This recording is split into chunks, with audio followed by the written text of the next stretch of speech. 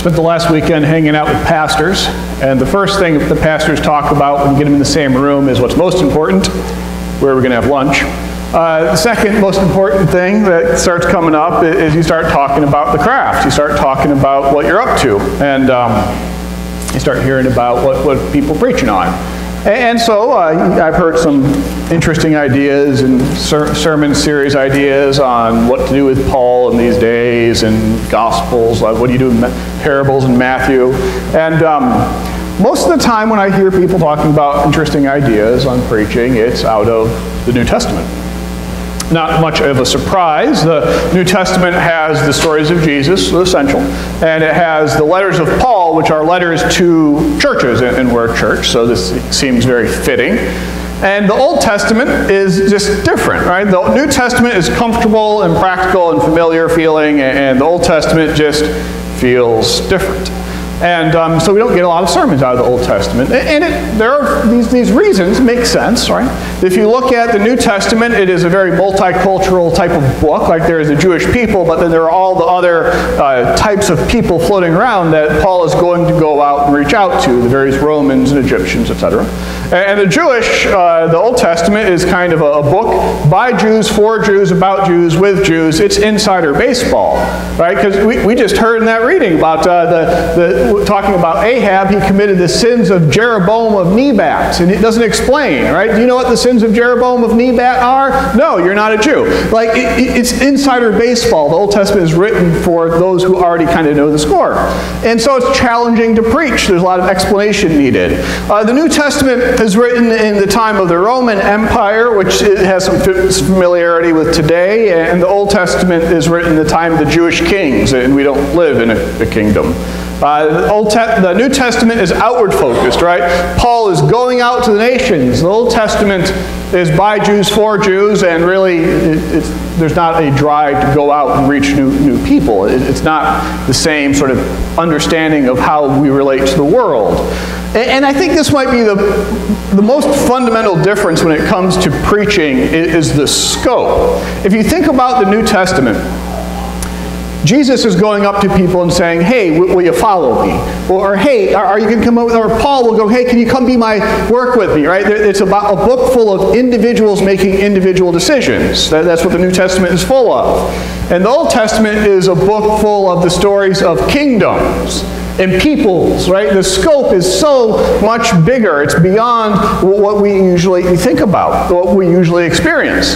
And so what happens to a lot of the stories of the Old Testament is that they are, we tell them in vacation Bible school. And so we tell the stories these of, you know, like Abraham, Joseph, Jacob, Ruth, Esther, David, Solomon. Like, I could take those names, go to Google, and I could find you vacation Bible school literature for the rest of the year on those people. But if I had to find sermon series on them, well, not so much. Now, so this is what, what, the challenge of preaching the Old Testament is, is that is a book, these are books focused on invasions and foreign relations and natural disasters and kings and politics. And um, to read it well, it becomes more of a challenge. Does this line up? Does this line up with y'all's experience? Anyone? Okay. Last week we told a story of Noah, or two weeks ago. Um, Noah and the flood, and that's a natural disaster. And as I was working through that, thinking, how do we understand natural disasters, it struck me that there is a set of natural disasters I do want to share with you uh, about. There, there are two droughts that happen in the Old Testament, two uh, important droughts, and they come up in the story of Joseph and the story of, of Ahab. And I want to tell them, uh, tell you about them, but. Um, started thinking of them, but I can't promise you a satisfying ending to the sermon because, well, sometimes the Old Testament just doesn't give you a very satisfying Protestant work ethic inspired, go forth and do this. Sometimes you get to the end of the sermon, you say amen and hope it was decent. Let me know. Uh, so first, uh, Joseph. Joseph is in the story of uh, Genesis 37 to 45, and Joseph is one of the youngest sons of uh, Jacob who is renamed Israel, and uh, he is the spoiled brat of the lot. Right? He is the one who goes and he sees his brothers out working in the field, and he goes back and tattles on them to his dad when they're not working as they ought. So he's not exactly popular with his brothers. And then he shows up one day in uh, a fine coat, and uh, Who here has seen Joseph in the amazing Technicolor Dreamcoat? A few. Okay, good. All right, so I'm. It's not an amazing Technicolor dream coat. It's not multiple colors. What it is, is it's a very finely made coat. That, that word for that coat comes, shows up one other time in Scripture to describe the outer garment that a bride wears on the day of her wedding. So, like, First of all, he's showing up to tattle on his brothers when they're not doing their work in the field. Second, he's showing up in this finery that makes it obvious that he's not going to be lending a hand. And, so uh, he's not popular, and he starts showing up with these dreams, and has these dreams. Like I have these, the seven ears of corn, or the, the 11 ears of corn are bowing down to mine, and the brothers start thinking, you got delusions of grandeur, boy? Why don't you actually work, right? And, and, then he has another dream about the stars and the sun and the moon bowing down to his star, and, and it, it offends the brothers so much that when they see an empty well and they see Joseph coming, they throw him in the well. That's it. We're done with you. You're not going to tattle on us any boy, pretty boy, anymore, pretty boy. You're out of here. And so then uh, some people come by who uh, will buy and sell slaves. So they, they sell him into slavery, and he's gone. And they go back and tell the dad that, sorry, he had a, a, a goat accident. We have hunting accidents and four-wheel accidents. They, they had a goat accident. And... Um, which I don't really think of as a goat being all that dangerous. Maybe it is. Uh, so he is sold into slavery. He goes over to Egypt. He, he is bought by uh, Potiphar, who is the head of the guards of Pharaoh. And Joseph makes the best of a bad situation. He, he starts managing Potiphar's household, which is good. And that's working well. And then uh, Potiphar's wife and him have a falling out, and Joseph ends up being thrown in jail by Potiphar. And again, he, his life is taking a swing for the worse, but he doesn't give up. He still he makes friends with the guards and he starts helping run the jail, um, managing the jail. And while he's there, he meets two uh, servants of Pharaoh. One servant of Pharaoh is the baker. One servant of Pharaoh is the uh, wine taster. And, and they both have dreams, and he interprets their dreams, and he correctly interprets that one of them is going to be executed, and one of them goes back to serve. And so after a few years, the, the Pharaoh has a dream, and the wine taster, who remembers Joseph, says, ah, there's a dude in jail. You might want to go talk to him. He can interpret dreams. And so Joseph shows up, and um, this is the point at which you really do need to have seen the musical, because this is the point in the musical in which Pharaoh turns into Elvis. And around here, y'all did this recent, a couple years ago, and Kevin Blue played Elvis. And so I hear this in the voice of Elvis with Kevin Blue in shiny, shimmery white. I think it's hilarious. I wish y'all had seen the musical. That's great. So uh, imagine Kevin Blue and, and, Joseph having this discussion. And uh, Joseph, tell, Pharaoh tells him, I had this dream of, seven cows, fat cows, and they're walking down by the river. And then these seven scrawny cows came up. And they ate them. What does this mean? Right? And he says, but then I had another dream of seven ears of corn, nice big ears of corn, and then seven other scrawny ears of corn came up and, and ate them. What does this mean, Joseph? And I just like the fact that corn, corn is eating corn. I, I think that's great. Uh, and, and Joseph says, you are going to have seven years of bumper crops and then you're going to have seven years of drought. And you really need someone to manage your food supply. Well, Joseph has been managing Potiphar's household, and he then was managing the jail, and so Pharaoh looks at him and says, well, you can manage. Why don't you do it?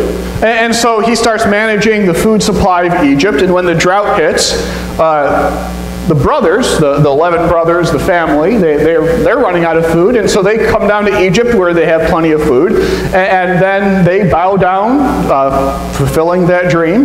They bow down to uh, Joseph, and after two song and dance numbers, there's a joyful fam family reunion, and then the grand finale, and, and that's the end of that, that story. and, and so uh, Joseph sort of told, tells his brothers, What you meant for evil, God used for good. Do not be angry. God sent me ahead to save lives. And so the end of that story is God has used me to save lives for the, knowing the drought is coming. The other story we started this morning was uh, of King Ahab, and there is no musical to go with the story of King Ahab. Instead, it is the story of Ahab and Jezebel. Now, is Jezebel still used as an insult? Is that still, y'all know that's not exactly a compliment. You call someone a Jezebel. But this is the original Jezebel. This is the Jezebel that gives all other Jezebels the, the bad name. That's why no one ever names their kids Jezebel. I hope not. Uh, but um, Ahab is a craven, self-centered, greedy bum who is also king and he marries someone who is his match, and she uh, tells him to do some things that really just ought not to be done. At one point, she tell he, he wants a vineyard in the center of the city, and she says, "Well, take it," and tells him to go kill the owner and have it have uh, the courts rigged so that he'll be executed for. Um, heresy for and so it, it, she is really not a good influence and, and so Ahab is told by the prophet Elijah that there is a drought coming. Drought, natural phenomena, it happens, right? Uh, and he is told the drought is coming, and he ignores the prophet. He ignores the news that the drought is coming, and instead he goes to his yes men. He has filled up his, his cabinet, so to speak, with yes men, people who will tell him, yeah, the, the crops are going to be great. Yeah, the economy is going to be good. Yeah, the unemployment is going to be wonderful, and yeah, no one's going to invade. Yeah, I mean, it's still a temptation, right, to surround yourself with people who say yes. And so Ahab has surrounded himself with people who tell him yes. And so when the drought begins, there have been no preparations. And so for two or three years, there is no rain.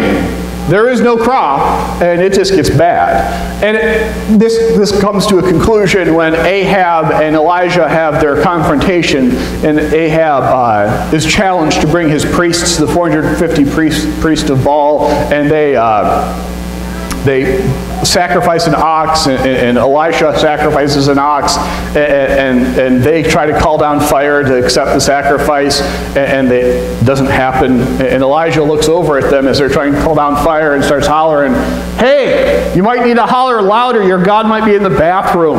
It's, uh, he's like snarking at them as they're trying to pray. It's, uh, it's a great moment in Scripture. But, uh, and, then Elijah prays, and, the fire comes down and takes the offering, and then the rain comes. And this ends the story of the drought, the famine under Ahab. And you think that after this, Ahab might learn his lesson. He doesn't. He invades a foreign country. He keeps on stealing. He ends up dying in battle miserably. So there, there you are. Those are the two other uh, of the major sort of natural disasters in, in, the Old Testament. Now you've heard most of them. I don't, don't think there's any other. There's the flood, and then there's the two droughts. And so, what do we make of these two droughts? Now, the problem of preaching on drought is that there's nothing you can do about drought, is there? Right? A great sermon ends in, and now you go forth and you do something. Does anyone here have any ability to do something about drought? Right? No, not really. And, and, so we can discuss a bit about natural disasters, that they're natural and they're going to happen. And so we might as well plan for them and be prepared, be more like Joseph than, than like Ahab. Good. But um, let me give you a, a, set of options for conclusion. Anyone here read Choose Your Own Adventure books growing up? Read those to you? Good. Someone's with me. Good.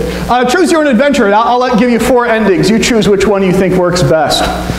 First way you could end a sermon like this is to say, choose good leaders. You got to choose good leaders. Pharaoh is a good leader because he listens, and Ahab is a bad leader because he doesn't. And so we have to be very careful about choosing good leaders because a, a leader who does not listen is going to lead in a way that people are going to suffer. Okay, that's one way maybe to end it. Here's a second way. If you ever end up leading, when you end up leading, you better be listening because someone's going to tell you something that something's going to go wrong and they might be right. So if you ever find yourself in the position of leadership, be sure to be listening to the people who tell you bad news. That's the one idea. Here's another. Uh, let's just continue to pray that those who are leading are listening. Let us continue to pray for the leaders in our community, the leaders in our nation, the leaders worldwide, that those who lead are humble enough to listen and know when they might be falling short. And, maybe here's the fourth ending, and this is the generic ending you can put on any, any sermon. The kingdom of God is coming. Right? In the end, we know the punchline. The kingdom of God is coming. And in the end, we are heading towards a time when drought is not going to be a concern, when the leaders will be good, for we will all bow uh, in front of Jesus Christ, the best and ultimate leader. And in the end, the kingdom will come, and we will all, uh, we will just cease have to worry about droughts, and we will all bask in the presence of God. So there's your endings on a frustrating topic, on a frustrating sermon. Let me know which one you thought worked best. Amen.